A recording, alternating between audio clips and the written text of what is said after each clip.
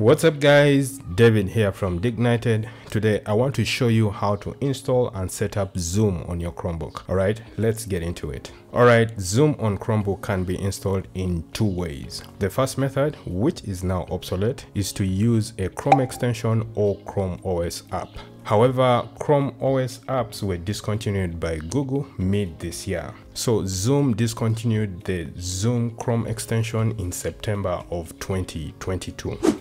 Therefore, you want to use the second method, which is using the Zoom for Chrome PWA.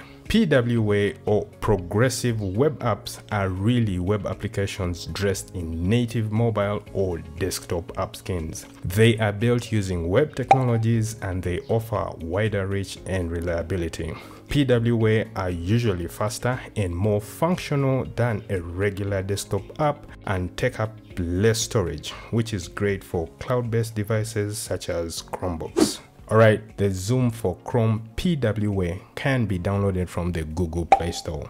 If you have a fairly recent Chromebook, you already have the Google Play Store, which is a place for installing Android apps on Chromebooks. So to get started, open Google Play Store on your Chromebook and then search for Zoom PWA or Zoom for Chrome PWA. Download the app to your Chromebook, then either log in or join a meeting and your app and running.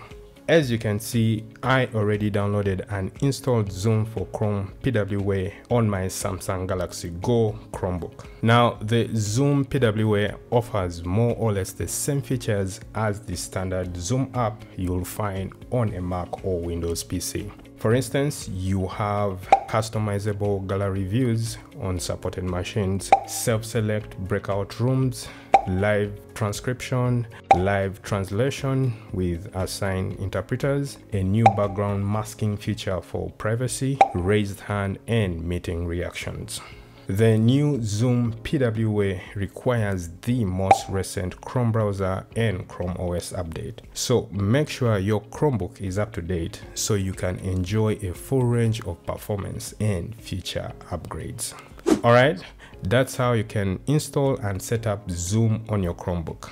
If you found this video helpful, give us a like, subscribe to the channel and ring the bell icon so you don't miss out on future videos. Otherwise, I'll see you guys in the next one.